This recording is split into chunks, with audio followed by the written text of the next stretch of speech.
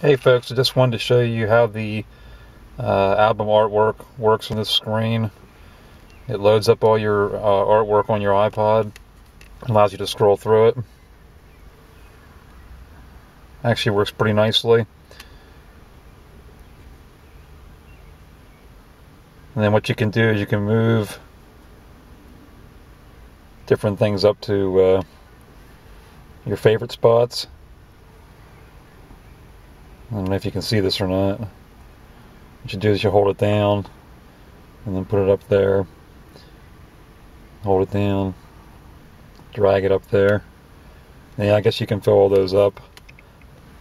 And uh, if you want to play one of those, you just simply push the, the button and it goes right to it and starts playing. And then the cover art loads.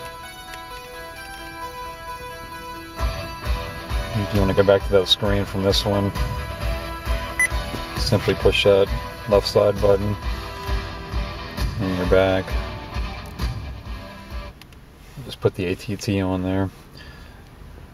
So yeah, it scrolls real nice.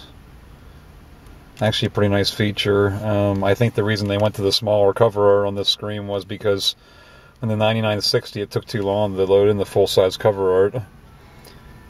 So much better application here with this, in my opinion.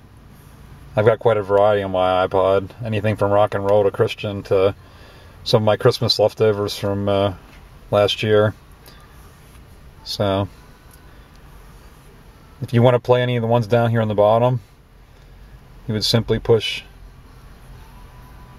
push the or push the uh, icon you want to play and then uh, you can see the name and the, uh, the album and the and the and the artist, and it has a play little play icon right there. You can push play, and then it goes right to it.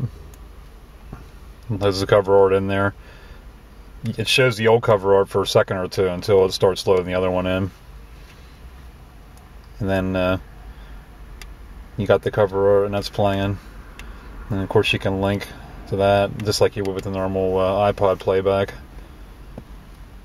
So, a pretty cool feature overall. I haven't figured out, or I haven't looked into uh, what kind of voice uh, activation you can use on that screen yet. But overall, I'd say it's uh, a lot better than 9960. And I was surprised. Uh, it took a couple try, a couple times for it to load everything in, but once everything got loaded in there, it uh, worked pretty good. Just kind of zoom in here and see if you can you can see how it works. And uh, you can just fill all these up. Pretty neat.